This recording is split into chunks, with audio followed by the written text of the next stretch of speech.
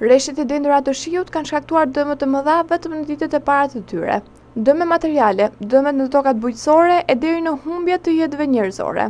Në fshatin Mali i Bardhë, prurjet e reshjeve kanë shtuar nivelin e përrojit dhe ujërat të rrëmbyeshëm kanë marrë me vete gjithçka që ka dalë para. Për familjen e Ganiut, kjo ka qenë një goditje e madhe. Janë përfshirë nga uji e si pasojë kanë ngordhur, Rreth njëqind krerë bagëti të imta, stalla e ndërtuar prej familjarëve është shkatërruar krejtësisht.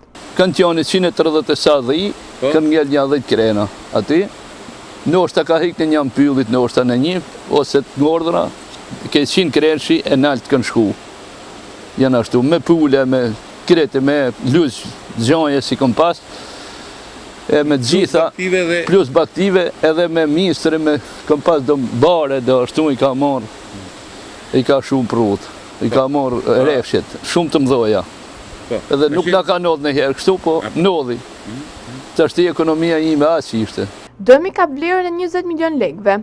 Zoti Gani tregon se është bërë raportimi në organet vendore dhe inspektorët kanë mbërritur në zonë dhe kanë kryer veprimet proceduriale, por apeli i tij shkon për Qeverinë Qendrore, familja prej tetë anëtarësh nuk ka asnjë burim tjetër të ardhurash. Paktën njizet janë si nja milion njëzet milion po me gjithë stallë e komplet shkojnë me gjithë bakti edhe ndërtim bakti e ndërtim e krejt kanë shku njizet mu tashti këtu s'ke ç'me ba mo kam lajmru ato të vendorëve të kanë ardhë ato na e i kanë ashtu, kanë bo, kanë bo matjet e procesverbalin e t'gjitha i kanë bo, tashti...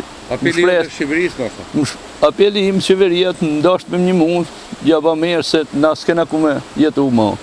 Mungesa e pritave që orientojnë ujrat në drejtimin e shtratit, vazhdon të shkaktojë përmbytje dhe dëme që prekin investime të mëdha, siç është rasti i familjes nga Mali i Bardhë.